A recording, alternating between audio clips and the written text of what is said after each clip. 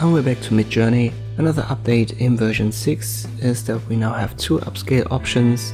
Let us prompt for example a comic character, the Joker, we'll make it highly detailed and we use parameter minus minus v version 6.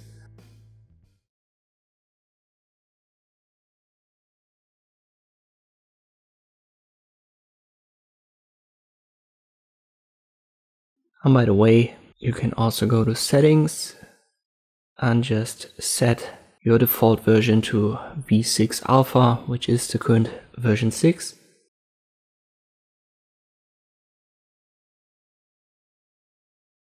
So here's our result. Let me upscale number three, maybe we use that.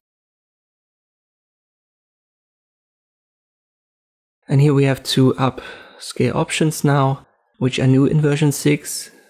Can use subtle or creative. Let us do both. When it comes to size comparison, the upscaler is a 2x as far as I can tell. So by default you get 1024 times 1024. And when you use the upscale it's 2048. So if I don't mess around with the aspect ratio, this is what you get with this new V6 upscaler. Now let's check the difference between creative and subtle. Let me open them up and we'll compare all three. So on the left we have our original, that's not upscaled, it's the 1024 pixels. Then in center we have the creative and on the right it's subtle.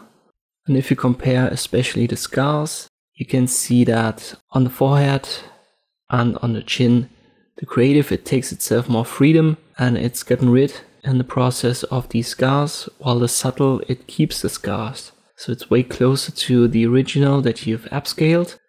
Well, the creative, I would almost say it does a little bit of photo retouching. Let us zoom in.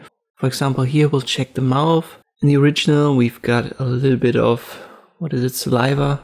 And it gives that in the subtle. It's obviously more detailed now due to the upscale. But this will be gone. And the creative one, so as I've said, it's more like a photo retouching upscale. Check the texture. On the left yet again the original and the subtle it's closer to it. And the creative it's a little bit of a free interpretation of what we had initially. It's a cool feature I think. Try it out yourself. I hope this video was helpful. Thank you for watching and I'll see you next time.